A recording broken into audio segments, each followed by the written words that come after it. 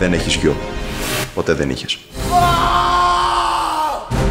Η σχέση της κόρης σου με το σταματάκι δεν την εγκρίνω ποτέ. Δεν πάμε όμως να στην οικογένειά μου. Παλικάρι μου. Μου έδωσε το λόγο του ότι θα μείνει ήσυχος. Πώς άλλαξε γνώμη; Θα τους αφήσω λίγο καιρό και όταν ησυχάσουν Τώρα στο βλέμμα του δεν θα κάνει βήμα πίσω. αυτό που τους έρχεται δεν θα το ξεχάσουν ποτέ. Σασμός. Απόψε στις 9.